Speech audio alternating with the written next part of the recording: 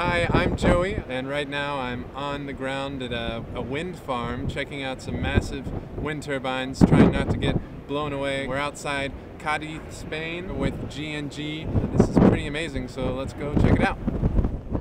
Today we're going to see a wind farm, and later on today we're going to go to a solar farm to see in action a lot of different energy resources and understand their importance.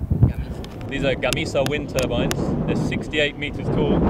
Each blade weighs six tons. And the actual the head of the windmill is more or less the size of this bus. By having these installations, they avoid the emission of 330,000 tons of carbon dioxide. Spain has a great wind potential, especially along coastal areas, which are helping Spain to get to their goal by 2020 of having 20% renewable energy.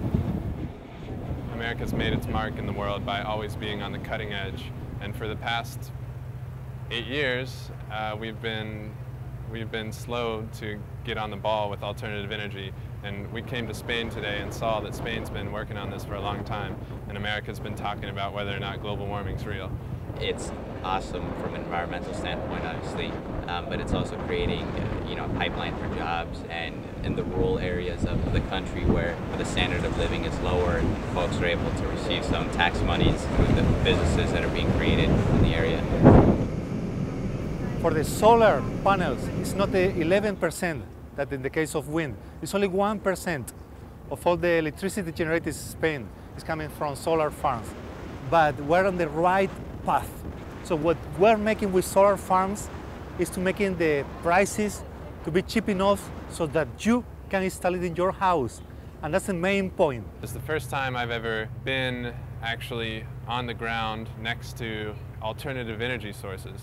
And it was a big thrill to be there amongst these beacons of the future. It's about dreams. It's about future. It's about feeling we have uh, some job to do.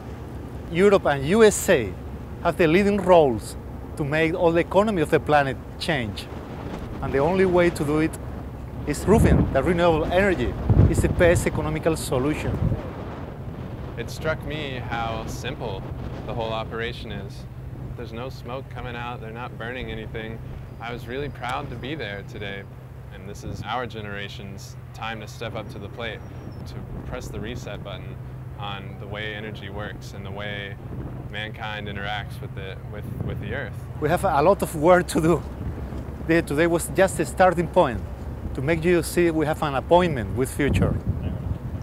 Are you coming with us?